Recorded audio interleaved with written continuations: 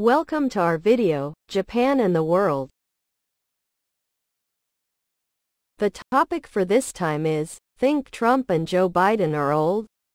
Wait for Iran's next supreme leader. I would like to focus on the commentary in 19fortyfive.com by Michael Rubin, a senior fellow at the American Enterprise Institute, where he specializes in Iran, Turkey, and the broader Middle East. President Ibrahim Raisi's death in a May 19, 2024 helicopter crash upended the race for a new supreme leader. Raisi was not only the president, but he was on a dry run to replace Supreme Leader Ali Khamenei, the 85-year-old who sits atop the Iranian hierarchy. Raisi had the right CV. At the Qom Seminary, he studied under a string of top ayatollahs. He subsequently became Prosecutor General and managed the Astan Quds Razavi, the multi-billion dollar religious foundation that also manages the shrine of Imam Reza in Mashhad. Importantly, he was not related to Khamenei. While Khamenei has helped maneuver son Mojtaba into a prime position to replace him, hereditary succession remains taboo.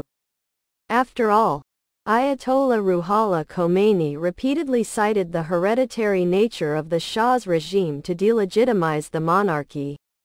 Khamenei may still favor his son.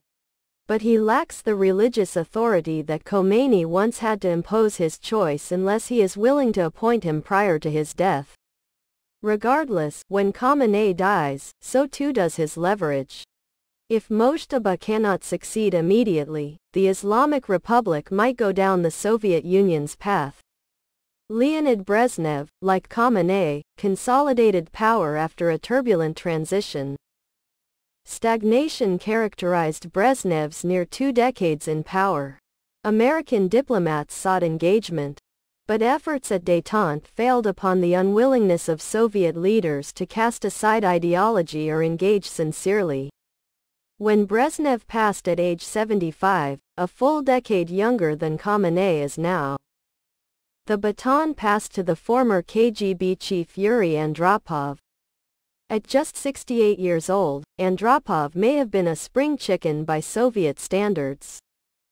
He already suffered diabetes and kidney disease as he ascended to the top post. It surprised no one, at least from within the Soviet leadership circles, when he died soon after. Konstantin Chernenko, three years Andropov's elder, took over but lasted little more than a year.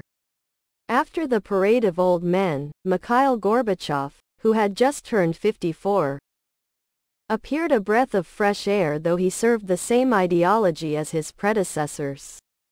Back to Iran, Mojtaba today is just a year older than Gorbachev was upon taking office, he has time.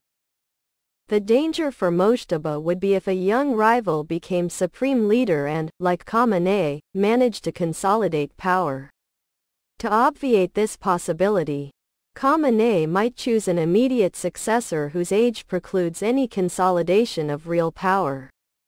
I asked Saeed Golkar, a professor at the University of Tennessee Chattanooga and one of the most astute analysts of Iranian politics, and he suggested the 99-year-old Grand Ayatollah Hossein Nouri Hamadani. For Khamenei, maneuvering Hamadani as successor could have two advantages. First, he mirrors Khamenei's hardline positions, he would be no Ayatollah Gorbachev. Second, Iranians despise him and so would have little grassroots support. Ahmad Jannati, a spry 97-year-old chaired the Assembly of Experts until last month, and remains Secretary of the Guardian Council. His successor as chairman of the Assembly of Experts, Ayatollah Muhammad Ali Movahedi Kermani, is 92. Even if the assembly appoints a nonagenarian who lasts only weeks or months in the leadership, his interlude would enable Mojtaba's supporters to deny hereditary succession.